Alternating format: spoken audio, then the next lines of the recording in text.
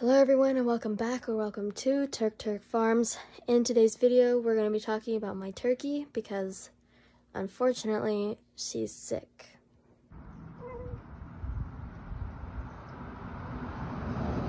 So the poor sick girl, Shelby, she was holding her wings in a very awkward way. That's not how they're supposed to hold them at all. Um, so I obviously was getting very concerned. So we went to the store and bought this red cell, kind of for the selenium aspect of it. I mixed it with some mealworms and grain that I also bought just to make it so they would kind of have it be a treat instead of like medicine.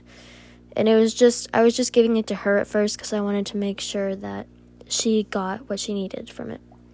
So here she is, just gently pecking at all the stuff. She was having a pretty good time, I think. So I forgot to start the recording um, until she was about a third of the way done with her food. So um, before I started it, I actually gave her 250 milligrams of a medicine.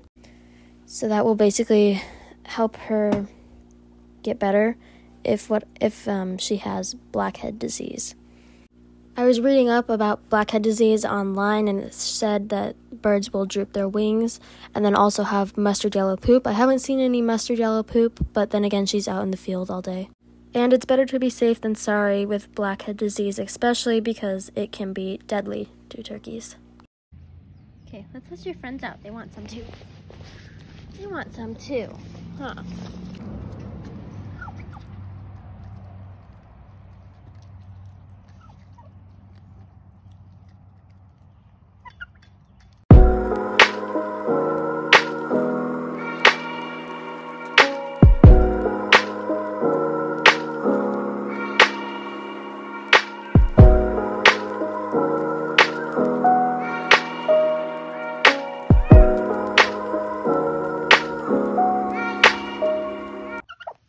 Are such a liar.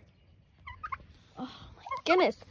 I just fed them medicine because the one hen, Shelby, she was acting very strange and holding her wings weird. And so I was researching what it could have been because I don't want them to be sick. Like, I, I want them to get better. So I got them medicine. We went to the feed store, got them medicine, just fed them the medicine. and boom, there's an egg right there. So either she is still sick and that was just coincidence, or she just had to lay an egg and was feeling kind of not very well. Because now she's acting perfect. She's not over here. She's yeah, she's on the other side. But now she's acting perfectly normal which makes me think it was just the egg. Huh, Mr. Turkey? just to be sure, no, there's no eggs in there. And no eggs in there either. This is what she's looking like now. You can see she's holding her wings normally, like a normal lady.